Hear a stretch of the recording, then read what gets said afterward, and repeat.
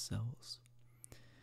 Cells, as you may know, are microscopic units that contain the basics of life and allow life to exist.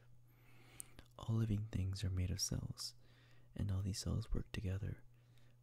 And sometimes there are more specialized cells that specialize in a certain function or work for something specific, such as red blood cells, white blood cells, your nerve cells. And together they become the building blocks of larger complex systems. Molecules form cells, cells form tissues, tissues form organs, and those organs work together to create your organ systems. And it wasn't until 1665 when Robert Hooke invented the first microscope. Cells were discovered, and many didn't know of the existence of the cell. It may seem like common knowledge to everyone now that we're all made of cells and all living things are made of cells. But back then, this wasn't the case. Robert Hooke was able to see cells on a piece of cork through his invention, the compound microscope, which would use multiple lenses and light to magnify an image of an object. Other forms of microscopes are scanning electron microscopes, SEM, which produce an image by scanning the surface with a focused beam of electrons. The electrons in the beams interact with the sample, producing various signals that can be used to obtain information such as the surface of the cell and the composition. Another microscope is a transmission electron microscope. EMS employ a high vol voltage electron beam in order to create an image. An electron gun at the top of a TEM emits electrons that travel through the microscope or to the to the microscope's vacuum tube. Rather than having a glass lens focusing the light, like light microscopes, the TEM employs an electromagnetic lens, which focuses the electrons into a very fine beam. This beam then passes through the specimen, which is very thin, and the electrons either scatter or hit a fluorescent screen at the bottom of the microscope. Then an image of the specimen with its parts shown in different shading appear on the screen. This image can then be studied directly within the TEM or photographed. SEMs or scanning electron microscopes are better for studying the surfaces of cells, surfaces of cells, and small organisms, while the TEM or the transmission electron microscope are, are better for studying the internal structures of the cell. As you may know, there are two different types of cells prokaryotes and eukaryotes. Prokaryote cells are lack a nucleus and they don't have membrane bound organelles, so everything is floating around. The DNA of prokaryotes is located in the central part of the cell called the nucleoid. There are only there are only two types of cells that are prokaryotic: bacteria and archaea. Most bacteria have a cell wall made of peptidoglycan, a polymer of linked carbohydrates and small protein proteins.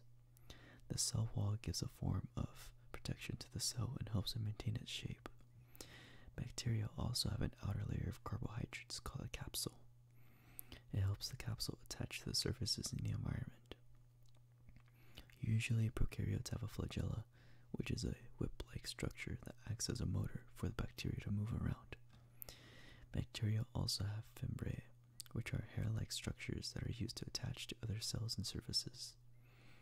They also have a rod like structure to transfer DNA to other bacteria. Archaea share most of the features, most of these features, but they slightly differ. One example is a cell wall. Archaea has a cell wall, but its compos composition differs than that of a bacteria. Eukaryotic cells differ from prokaryotic cells. For example, eukaryotes have a membrane have membrane-bound organelles, which you may be familiar with. One or organelle could be the mitochondria, and they carry a membrane-bound nucleus, which houses the genetic material for the cell.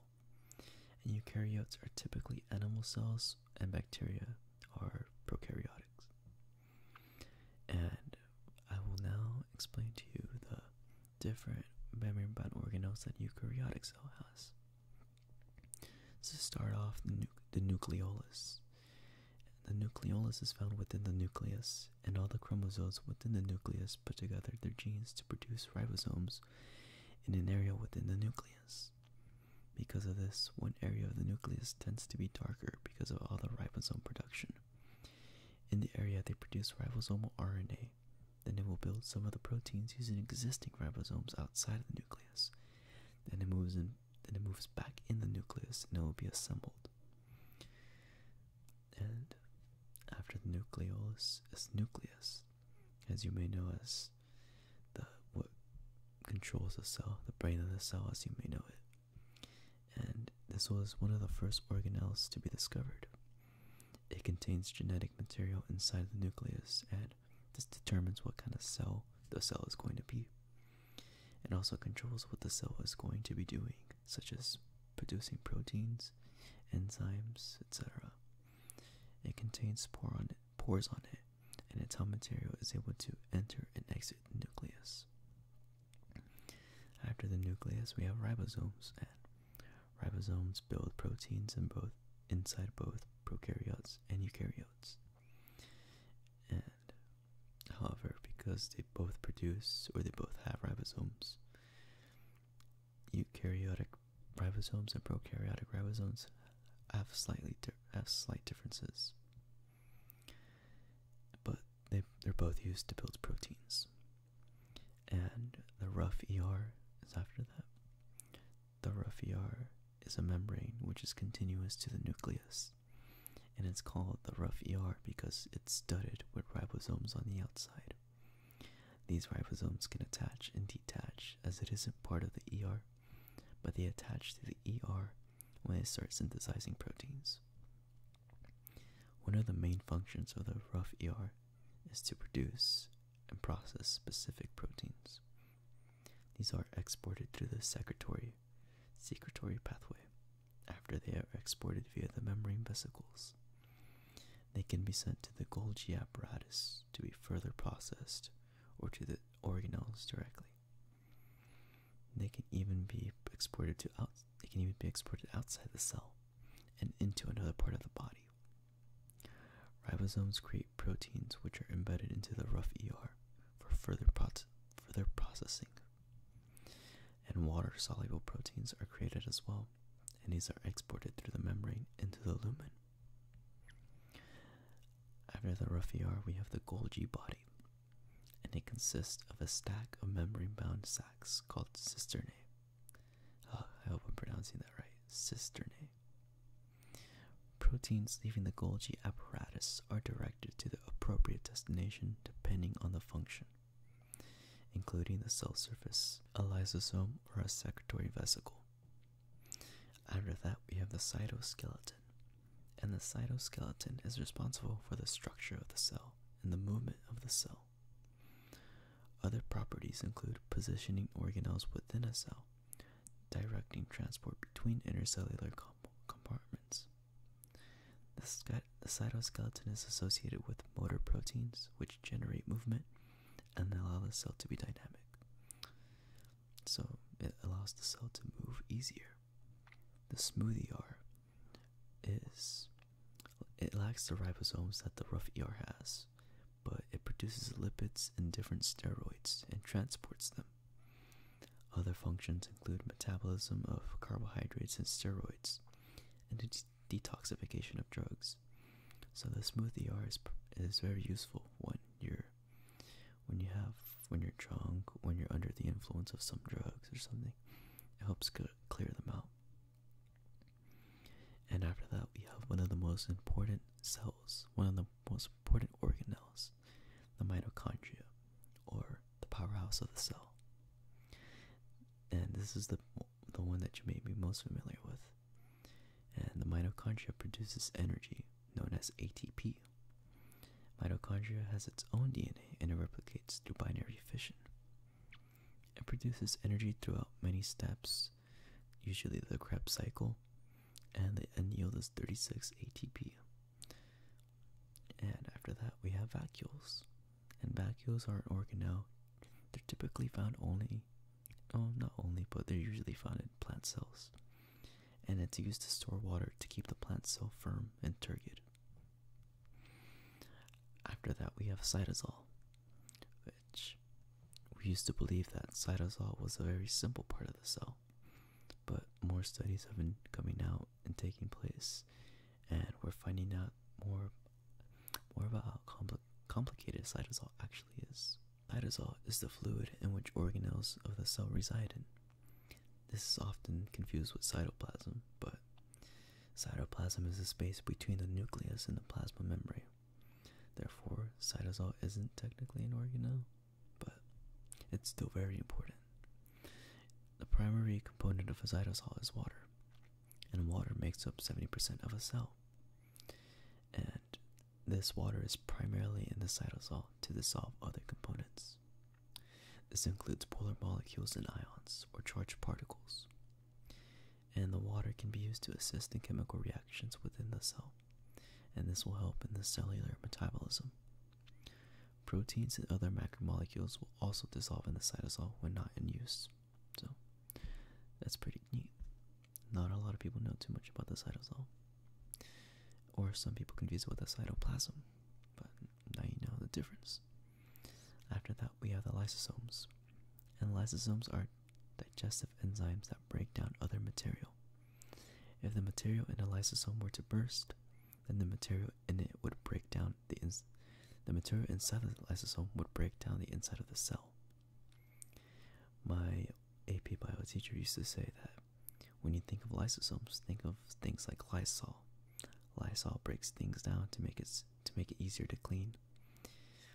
And also, in the word lysosome, it contains the Greek word lysis, which means to cut. So, you can use that. Lysosome, lysis means to cut. It's a neat little way to remember it. And after that, we have centrioles. And the main function of the centriole is to help with the cell division in animal cells. The second function of the centriole is focuses on ciliogenesis. Ciliogenesis is simply the formation of the cilia and the flagella on the surface of the cell. Centrioles are little tube-like structures that aid in cell division. They generally are found close to the nucleus and are made up of nine tube-like structures that each have three tubules. And you may be wondering, after organelles, all, all of these things that make up a cell, why are they so tiny? Why are cells so small? Well, cells are small because they need to take in and let out materials inside cells. They take in oxygen and release materials such as carbon dioxide through a process called diffusion. If cells were larger, then it would take a long time for material to get in and to come out. Instead, cells are small and have more surface area. However, if cells were too small, then there wouldn't be enough space for the organelles, DNA, and other important materials. Therefore, cells need to be a certain size. They need to be a certain size to efficiently diffuse material and to fit all the necessary components inside of it. So it can't be too small because then the organelles wouldn't fit, and it can't be too large because it can't take too long for material to come in and out. So the size that cells are now is important because it allow it allows for efficient transportation of materials inside a cell. So I hope you guys liked today's video. I know it's not history, but I really also like biology and I really like making these biology videos even though they take me a little bit longer to make because I want to research the material to make sure I don't sound dumb. I may have mispronounced any words. If I did, I'm sorry. But that will be today. That will be it for today. I hope you guys enjoyed, and I hope you guys liked the video, fell asleep, or felt more relaxed by it. Good night, everyone. Have a good one. Hey guys, this is a quick little edit because I kind of forgot to put in a chloroplast. And chloroplast is an organelle of the cell. Oops, it's not found in animal cells, but it's found in plant cells. Chloroplasts are used to go through photosynthesis, where plants convert the energy from the sun or from light to ATP that they can use to go through photosynthesis and convert carbon dioxide into oxygen. Another quick little edit is I briefly mentioned vacuoles, but mention that vacuoles for animal cells. Vacuoles hold in water material for animal cells, and they may even hold in waste from the animal cell. So, I'm sorry, I kind of forgot to. I don't know how I forgot about it, but now I added it to the end of the video. But I hope you guys enjoy this